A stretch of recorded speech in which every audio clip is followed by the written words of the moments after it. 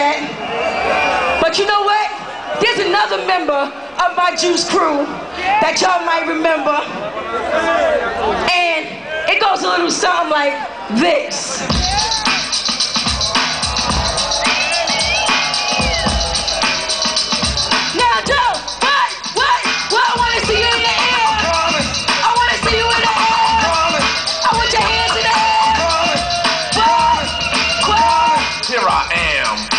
R-A-W. Y'all ain't ready for that either.